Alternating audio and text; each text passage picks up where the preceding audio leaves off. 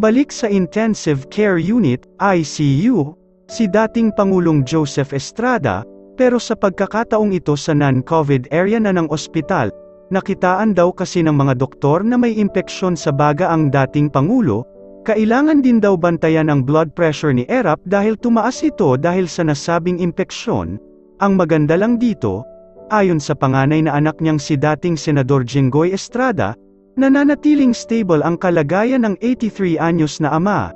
Narito ang buong pahayag ni Jinggoy sa kanyang Facebook post ngayong araw, April 16.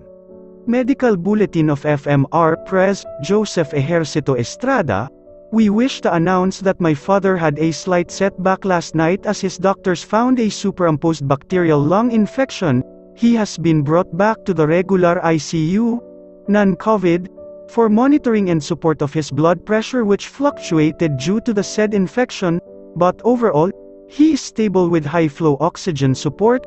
Once again, we ask for your prayers for his immediate recovery and also to all those infected with COVID-19. Thank you so much.